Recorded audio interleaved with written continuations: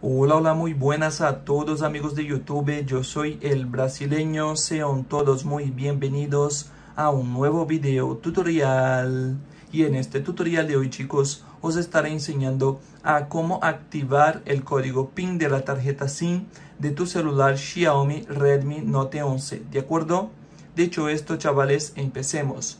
Lo primero que vamos a hacer será entrar en ajustes o configuración de tu celular y aquí en este buscador vamos a escribir bloqueo, bloqueo tarjeta SIM o podéis escribir bloqueo SIM, ¿vale? Y le dais clic ahí, ¿ok?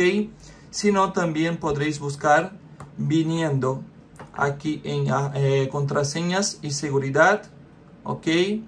Venimos hacia abajo hasta privacidad y ahora aquí en bloqueo SIM te va a salir el nombre de tu operadora de teléfono, le damos un clic y aquí le damos activar el código PIN. Aquí nos va a pedir el código PIN de tu tarjeta SIM. Si no lo sabes, pues cuando compras la tarjeta SIM, la SIM pequeña viene en una tarjeta más grande, ¿no? Pues detrás de esta tarjeta tendrás el código PIN de tu tarjeta SIM.